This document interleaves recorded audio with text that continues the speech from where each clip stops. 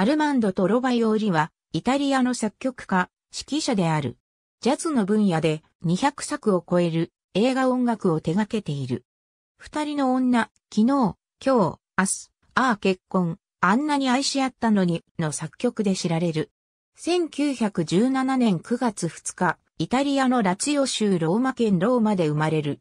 父はバイオリン奏者で、アルマンドもバイオリンを学び、後にピアノと作曲をサンタチェチーリア音楽院に学んだ。1962年2月14日、女優のピアアンジェリと結婚。翌1963年1月8日、二人の間にハワード・アンドリュー・ルガンティーノが生まれる。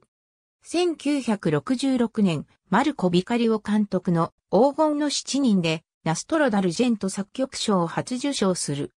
1969年、妻、ピア、アンジェリと離婚。ピアは2年後に、バルビツール酸系薬物の過剰摂取で死去している。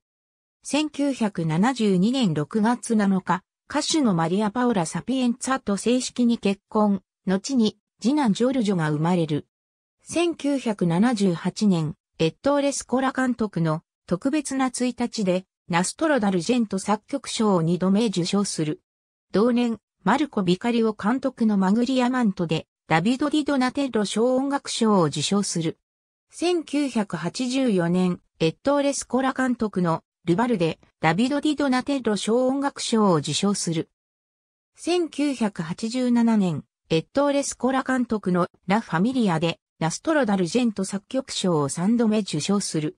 1995年、フライアーノ賞映画功労賞を受賞する。2000年代に入り、90歳を迎えてからも、現役として活動していた。2007年、ダビド・ディ・ドナテッロ症候労賞を受賞する。2013年3月2日、イタリアのアンサ通信社がトロバヨーリの死亡を報道。2月28日死去とされる。ありがとうございます。